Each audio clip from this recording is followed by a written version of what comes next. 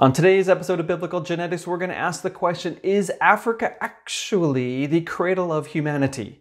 We have been told for decades that humans evolved in Africa a few hundred thousand years ago, that there is no biblical Eve, that there's no biblical Adam, etc., etc. Is this true? Well, interestingly, cracks are starting to appear in the evolutionary edifice, and we've had a lot of things changing over the last specifically year or two. I mean, fossils being found outside of Africa at the wrong time frame, a, a footprint in Crete or a skull in Morocco or teeth in Iran. And all of a sudden people are like, you know, these things look awfully modern and they're kind of young and it's not supposed to be here because we weren't supposed to be a species yet. And then we have genetics, and genetics has turned everything upside down because we're finding out that, well, we made it with Neanderthal, which I consider fully human. Look at a previous episode of Biblical Genetics for that, and I'm sure some more in the future also. But Neanderthals are human. The Denisovans, another uh, mysterious race of people that we only have their DNA and hardly any bones for, they're also human. And we have this inbreeding between what they thought were evolutionary disparate groups, and yet genes from those groups are in modern humans. That raises the question what's a species? Where did we arise? And all sorts of things like that. But after all that, a brand new paper just appeared in Nature, the world's premier science journal, written by some very famous evolutionists called Origins of Modern Human Ancestry. This is picked up by several popular level sites like ScienceDaily.com and the British National History Museum, and they're quoting from this paper as if this new, brand new revelation, and yet this revelation changes everything we've been taught for a long time, specifically that Africa has to be the origin point for humanity. Now, the original article is behind a paywall, but at least the popular level summaries are there for anyone to read. And this raises some very interesting questions because clearly they're struggling with the old concept of the origin of humanity. And yet, if they can't pin it to a specific time and place, one wonders how much leeway they would allow. Now, of course, they're not going to allow the young Earth position, but all of a sudden, I mean, what if modern humanity arose outside of Africa? What if we arose in China or Europe or India? What if the, the key anatomical and brain differences between humans and chimpanzees was not an African innovation, but came from somewhere else? Maybe Africa was the first time that these things came together into a human being, what we would call a human being, fine, but all of a sudden maybe we're not African anymore. Oh, very, very, very interesting. So here's a fair question. Why is it that for pretty much the last two centuries, evolutionists have taught us that we evolved from monkeys in Africa? Well, there's several reasons for that. And to put a modern spin on it, we understand now that there's more diversity in Africa in the human population than the rest of humanity put together. There's more differences between two people in Africa than, than might exist between maybe a European and some uh, native Australian Aborigine. There's a lot of diversity in Africa, a huge amount. Plus, the diversity is in smaller little bits as if it's an older population and that might have had more recombination because they're older. And there's all these arguments like that. Plus, monkeys live there. Plus, I wonder if there's still some latent strains of European racism involved in this question because, I mean, you can't escape the fact that most of the paleoanthropologists in history were European, at least prior to World War II. The things that they said about Africans were horribly racist. I mean, unjustifiably in the modern times, and yet that is the underpinnings and the backbone behind a lot of evolutionary speculations. And I wonder if maybe finally, finally, they're starting to jettison some of that baggage. But once they do that, they realize that maybe we can't pin the origin of our species to one specific place in an old Earth sort of a long term model. How might we explain Africa from a young Earth perspective? Assuming Adam and Eve are true, Noah's flood is true, the Tower of Babel is true, and Africa is populated after Babel, how do we get all that diversity just within Africa? Well, there are several possible mechanisms.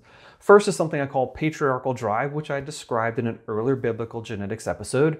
It's the idea that really old people, as in the biblical patriarchs, for several centuries after the flood, having children very late in life are going to produce children with a lot of mutations because men specifically, their reproductive cells start dividing at puberty and they don't stop dividing until they die.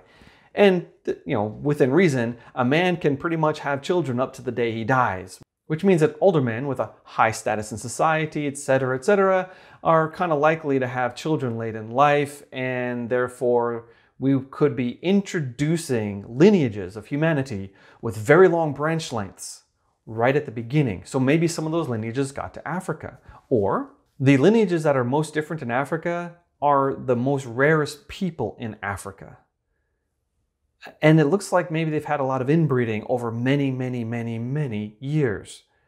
So something like the Khoisan, and we call them Bushmen. I'm not exactly certain what the politically correct term is anymore. I'll call them the Khoisan. If you've ever seen the movie The Gods Must Be Crazy, or one of the spin-offs, those people, they live in Namibia and Southwest Africa. They have some of the oldest branches, oldest as in longest branches of the Y chromosome and mitochondrial family tree. Now, is that because they're really that old?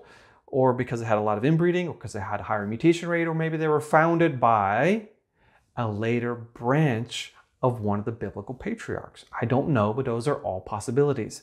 There's also possibility of higher mutation rates because anytime you have a small population, if one of those people has maybe a defective DNA repair enzyme, well, those mutations will propagate through the population faster. Or maybe there was a selective sweep across Eurasia where most of the older lineages were wiped out. And some of the older lineages in Africa survived. That might explain why we don't have Neanderthal Y chromosomes or Neanderthal mitochondria in the European population, even though we do know that Neanderthals and Euro early Europeans interbred because we have other pieces of, of Neanderthal DNA there. Or maybe Africa had a higher initial population size. Maybe the rest of the world was founded by very small groups and multiple groups got into Africa, specifically south of the Sahara Desert. Because when you're north of the Sahara Desert, the Mediterranean peoples are very much homogenous compared to the gulf between the Mediterranean portions of Africa and sub-Saharan Africa. That's where the big difference is. We're really talking about sub-Saharan Africans being very different, not northern Africans, because there's been so much interchange culturally, wars, invasions, uh, you know, people doing what people do, that northern Africa is much more European and Asian in its genetics than Southern Africa. But what if Southern Africa was simply founded by more people? Maybe more descendants of Noah got there, bringing more genetic diversity there to start the population off. Or what if they have a higher recombination rate? You see, the amount of scrambling between chromosomes directly affects how much diversity a population can handle. If you have more scrambling per generation, that population can harbor more genetic diversity. A study was performed several years ago where they looked at recombination rates in African Americans and European Americans, and they concluded that the recombination rate in African Americans was higher. That means there's more scrambling per generation of their genetic data, which means that that population can harbor more genetic diversity over longer periods of time. If that's true across Africa in general, and there is a gene that controls this called PRDM9, and Africans appear to have more PRDM9 sites than Europeans. Well, that's true. Maybe there really is more recombination in Africa, or maybe even historically there might have been more recombination in Africans. Maybe it has slowed down because anytime a PRDM9 site mutates, there's one less place where recombination can happen. So maybe recombination rates are higher in the past. That might explain the data right there. We also have to account for post-Babel migration into Africa after Africa was established as a continent, after people got there. The largest group of men in Africa belong to a branch of the E lineage of Y chromosomes. Now, the longest branches are the A lineages. Those are in the Khoisan, but 95% of African men, Southern African men, I should say, have this E haplotype, the E group. But their branches branch off from non-Africans, and those branches branch off from non-Africans, which branch off from non-Africans. So it appears that this group arose outside of Africa and then invaded and almost took over to the point where almost all African men are descended from those people. Well, that's a post Babel invasion event right there. Now, interestingly, my Y chromosome, which is R1b, is strongly associated with people of Western European extraction, like 80% of Western Europeans. And my, my little subgroup of R1b is associated with Northern Ireland, where my Irish great great whatever grandfather came from. But there's a group of men who live in Cameroon, south of Lake Chad, in the dead center of the continent, who have my Y chromosome.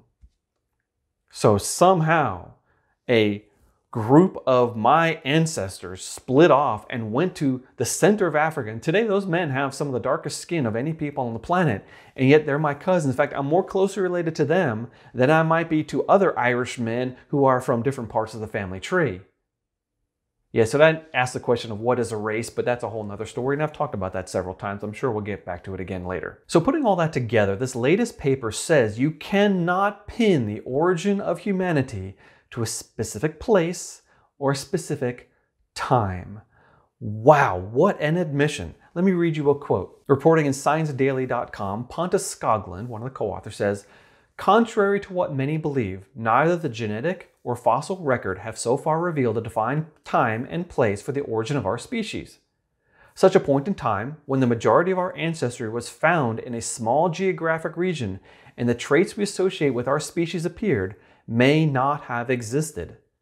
For now, it would be useful to move away from the idea of a single time and place of origin. So here are some very well-known evolutionists saying we have to jettison the outdated, old-fashioned, moribund idea that we evolved in a small population in Africa. In fact, now anything is on the table. So I know that there's some Chinese scientists who are trying to argue that China is the source of modern humanity. And I bet maybe some people in India want to make that claim. I know Europeans have tried to make that claim in the past, and happily this have fallen by the wayside because they were wrong. But what about biblically? Because not far outside of Africa is a location where people lived right after the flood and the site of the Tower of Babel. In fact, the genetic diversity in the Middle East is very high. Africa might be a little higher, but Northeast Africa is the highest diversity area of Africa. One reason for that is because only 10 miles separates Africa from the Arabian Peninsula uh, near Djibouti. And that's been a historic trade route and historic uh, migration route and a place to exchange slaves. There's uh, invading armies. There's been a lot of, let's say, a genetic exchange between Africa and Asia at that location. And plus, you have the Nile River Valley, you have the coastline going all the way down uh, towards southern Africa. You can get to Africa from other places, and a lot of people have in the past, and there's been a lot of genetic exchange. But Northeast Africa is the center of diversity, and diversity goes down as you go westward in Africa and southward in Africa. The Middle East has a very high genetic diversity level maybe that's the origin of humanity. Of course, that's not allowed. No, that would never be allowed because it sounds too biblical. But you can no longer exclude that from first principles, especially according to what these scientists are saying. Let me read you another quote. This is from the abstract. We argue that no specific point in time can currently be identified at which modern human ancestry was confined to a limited birthplace and that patterns of the first appearance of anatomical or behavioral traits that are used to define Homo sapiens are consistent with a range of evolutionary histories. These scientists are hinting at an idea that's always been the minority view. Even when the out of Africa theory was reigning supreme, there's always been some people who thought that we evolved in a large pan-mictic population over a large geographic area. It's called multi-regionalism.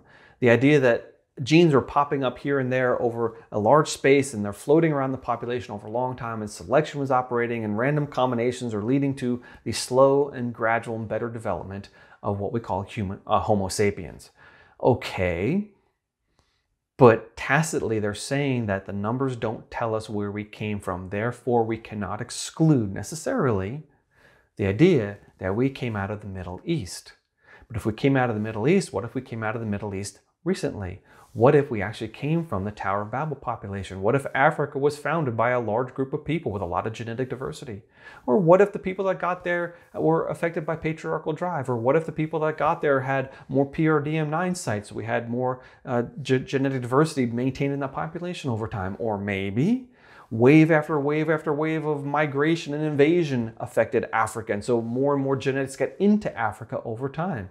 All these things are possible, and all those things fit with the biblical picture. My friends, you don't have to run away from the Bible. Don't be cowed by evolutionary evo speak. Don't be afraid of the status quo. Don't be afraid to question. And it's really interesting when we see the scientists questioning the other scientists about evolutionary theories, especially when they help us with creation theory. Now, at this point, you might want to go back and watch or rewatch my episode Patriarchal Drive in the Early Post Flood Population. That's available on biblicalgenetics.com. There's also an article on creation.com about patriarchal drive. I published it in the Journal of Creation. It's now available for free on the website. You might also want to consider my earlier episode Did Eve Live in Southern Africa? Just about one year ago, a paper came out claiming that they could pinpoint the location of Eve at a specific place in southernmost Africa. And I said this is absolutely not true, and this new information I just presented to you makes this claim even worse. But go look at that if you're interested. Before I go, I want to thank my brand new Patreon supporters, Dave H. and Rob S. Thank you so much. If you want to help out in that way, just go to patreon.com, find my site, Biblical Genetics, and you can join up also. I also want to give a hat tip to the people who have supported me on buymeacoffee.com. Mark C., Stephanie S., GOB, several anonymous people, and all of you who have impronounceable uh, code names. Thank you so much. You're helping to keep this show going, and I really, really appreciate it. That's all for now. Thank you for watching. Be encouraged, my friends, that there are answers to these things. Some of these answers are hard to come by, but with enough study and enough dedicated pursuit of truth, we can learn enough about science to back up the biblical claims of history.